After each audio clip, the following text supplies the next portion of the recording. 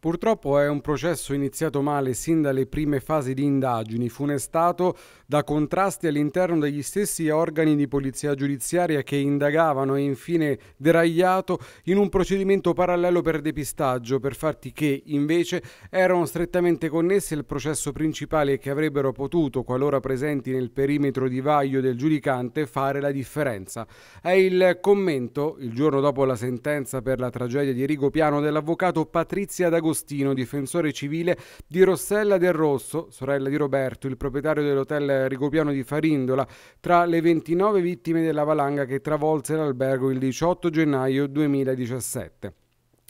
Dalla lettura del dispositivo, il nesso causale tra evento e condotte penalmente rilevanti sembrerebbe ristretto alla sola fase emergenziale, il che, seppur coerente da un punto di vista processuale, contrasta con l'orientamento della Procura che, sin dalle prime fasi di indagini, ha ritenuto di escludere dal perimetro delle responsabilità i vertici della protezione civile regionale, fortemente coinvolta invece negli eventi che caratterizzavano quei giorni in Abruzzo, sottolinea D'Agostino. Questa assenza ha comportato la condanna solo per alcune responsabilità marginali dell'intera vicenda. Leggeremo le motivazioni di tali scelte, prosegue il Lecale, principalmente per comprendere il perché non siano state considerate penalmente rilevanti le condotte rilevanti nella fase dei soccorsi, specialmente per coloro che, pur a conoscenza del dramma che si stava consumando a Rigopiano, sollecitati in ogni modo sin dalle prime ore della mattina del 18 gennaio da Rossella del Rosso in provincia e da Gabriele D'Angelo con le telefonate al COC di Penne e in prefettura,